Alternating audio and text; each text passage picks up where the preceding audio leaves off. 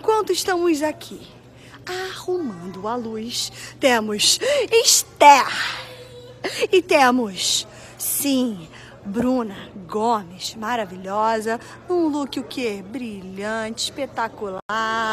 Mas... Grit, o Esther também tá de grit aqui, olha aqui.